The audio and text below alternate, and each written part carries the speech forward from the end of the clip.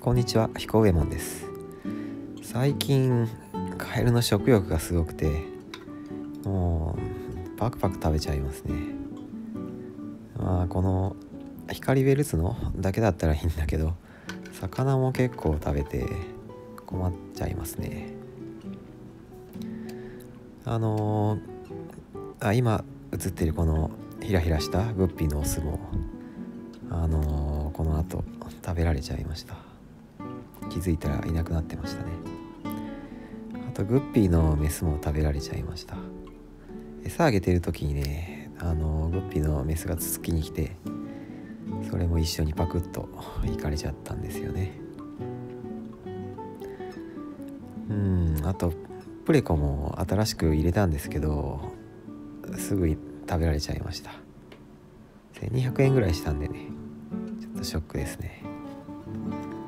とロックシュリンプっていう結構大きめのエビかっこいいエビ入れたんですけど食べられちゃいました。お箸をねあのー、ちょっと大きめの菜箸に変えたんですよ。あのー、その方が餌を与えやすいしあまりお箸に噛みつかせるのはね良くないんでねこういう持ち方をして餌だけをねあの、ってもらいたいなと思って。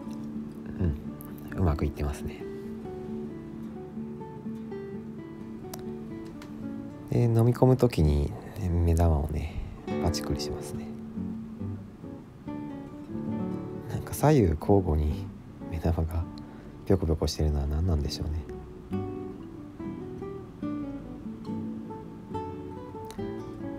なんか飲み込みにくかったようで何回もうん。ここからはあ水替え動画ですね。今回はカエルを外に出すこ出してみました。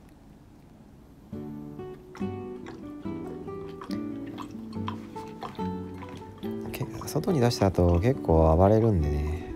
あの洗面器に入れてるんですけど。どっちがいいのかな？入れたままやってもいいんだけど、まあ、今回は外に出しました。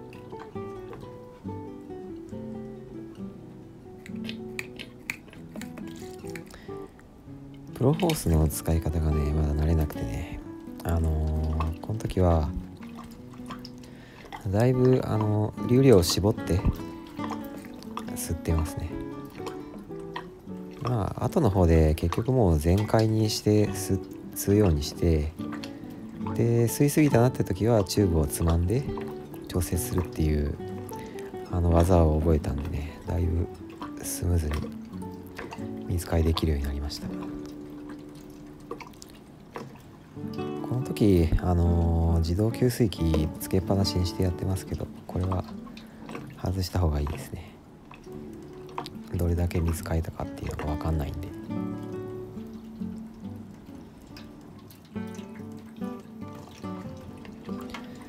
えー、給水器をね外します。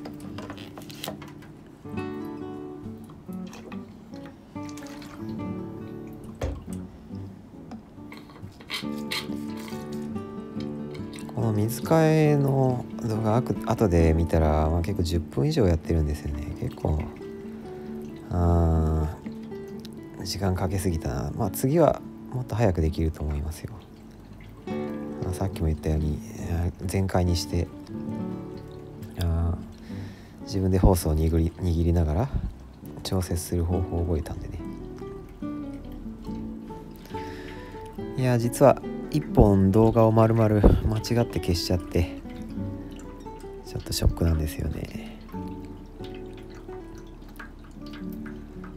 まあどんな内容だったかっていうとうんそう新しく、えー、プレコとロックシュリンプを、えー、投入してまあそれはすぐ食べられちゃって。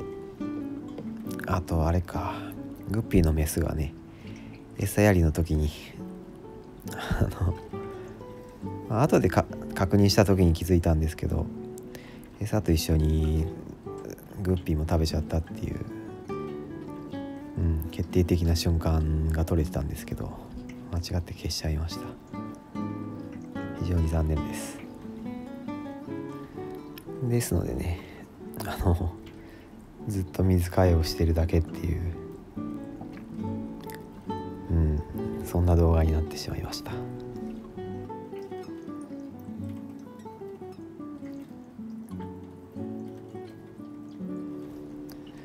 カエルがねあの右の方の砂を結構かき出しちゃったんでちょっとこうやって水返しながらソイルを移動して埋めるようにしてます。前あの場所にねいっぱいなんだウールマットがねあのあったんですよ。最初の水槽を立ち上げる時の処理がね雑すぎてねウールマットがずっと見えてたんで気になってた人もいるかもしれないけどまあなんとか処理できました。この水槽はあの底面フィルターを使ってて、まあ、当初僕が考えてたのはもう2年ぐらい水替えなしでバクテリアでね、あのー、水をこうやって循環させていけるかなって思ったんだけど。うんやっぱり必要ですね水替え、まあ、しなくてもいけるのかもしれないけどカエルがね暴れた時にすごいゴミが舞うんでね。こうやって水替えしながら掃除すると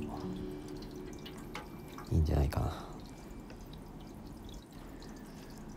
グッピーのねオスもメスもいなくなっちゃったのがね寂しいですね。でもちゃんとたくさん稚魚をね残してくれたんでね。うん。彼らはオスなのかメスなのかまだ分かんないですけど。見た限りだと全部メスっぽいけどちょっともうちょっと大きくならないと分かんないですね。